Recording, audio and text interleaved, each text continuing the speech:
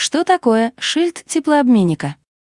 Шильд, шильдик теплообменника — это таблица с параметрами оборудования, которую производитель устанавливает на все выпущенные теплообменники.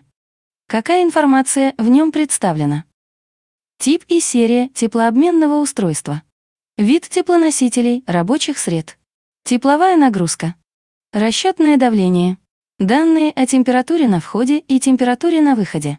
Количество пластин. Масса. Обращайтесь к нам.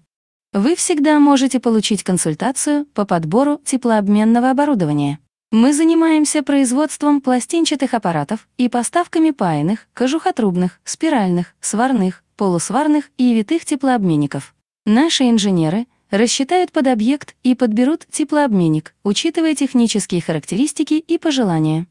Звоните по номеру 8 804 333 71 04, звонок бесплатный, или же напишите на электронную почту it-sn22.ru.